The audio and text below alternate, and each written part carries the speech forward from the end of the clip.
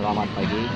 Kita pagi ini mencoba mengevaluasi perjalanan seorang jurnalis di Kota Padang ini. Ya, saudara kawan pada rapat ini kita harus membahas beberapa media yang telah punya nama dan telah dipercaya oleh pembaca untuk masyarakat Sumatera Barat. Satu, Padang kita, kedua arianaluan.com, ketiga Komisidia, yang keempat.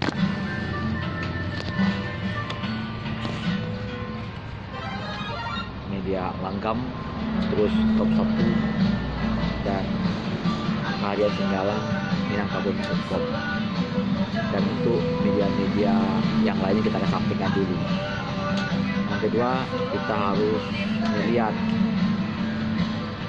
media nasional seperti Tribun News, kedua media Detikcom, ketiga media Liputan 6, empat Kompas.com, terus Republik, Republika, Opuzon, dan Tempo, KPK, CNN Indonesia, dan juga beberapa media yang top yaitu eh, Merdeka.com dan media Solo.com. Kita sebagai media muncul tanggal 23 November 2020 itu berita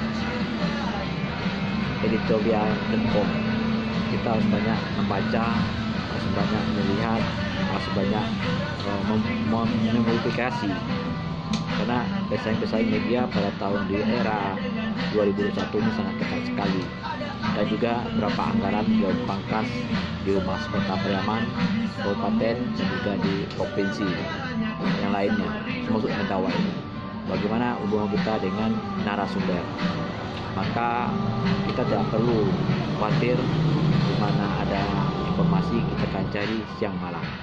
Maka pagi ini kita sudah rapat redaksi bahwa kita harus berjuang untuk hidup jurnalis saya sudah melaporkan di warung mapan feri ikan di kota Padang